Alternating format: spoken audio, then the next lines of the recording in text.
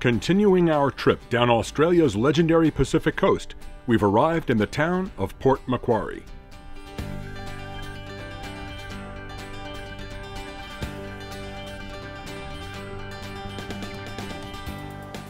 Port Macquarie is a popular New South Wales destination for a good reason.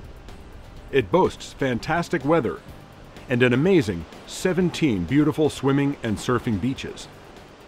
Not to mention some of the most stunning coastal scenery you can imagine. The deep blue of the Pacific Ocean, the turquoise surf, sandy beaches, and rocky coastline rise dramatically into the rugged green hills. We're staying at our third Big Four holiday park. We've already experienced what great places they are, with a well-earned reputation for excellence. This Big Four in Bonny Hills is just south of Port Macquarie, but still conveniently close. As we've come to expect, there are multiple swimming pools. And if you remember, when I got the water bucket treatment at our first Big Four park, they've got one of those here too. As we've mentioned before, no Australian caravan park would be complete without a camp kitchen. They've got two of them here, including this huge indoor-outdoor cooking and eating space. Of course, with the more limited tank capacities on RVs here, large clean bathrooms are a must. The facilities here are immaculate and look like they were just built. There are rental go-karts for the kids, and plenty of other entertainment available for kids of all ages. Besides caravan and campervan sites, there are cottages and bungalows available for rent. But like most of the Port Macquarie area, the biggest draw is the beach. A short stroll beyond the park's gate takes you down a short path out onto the expansive beach. There's tons of space here, so there's room for everyone to spread out and enjoy the sand and surf.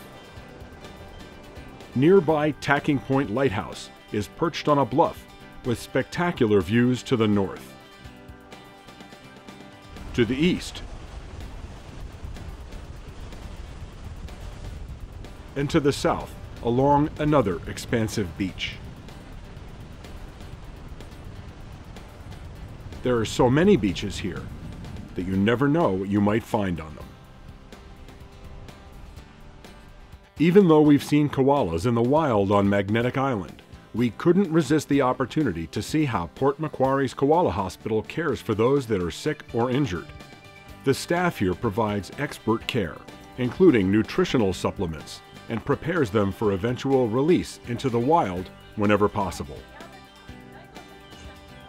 Some of the koalas here have been hit by cars or been caught in wildfires, but they seem to be thriving under the expert care of dedicated hospital staff, many of whom are volunteers. When the time comes, those that are healthy enough are released to live out their lives in their natural habitat. You can tell the difference between a male and a female. Females have lovely, clean white chests. Males have this dirty brown. While we were here, we supported the Koala Hospital's worthwhile efforts with a donation, and you can too. We'll put links in the video description for more information about the hospital and how to make a donation.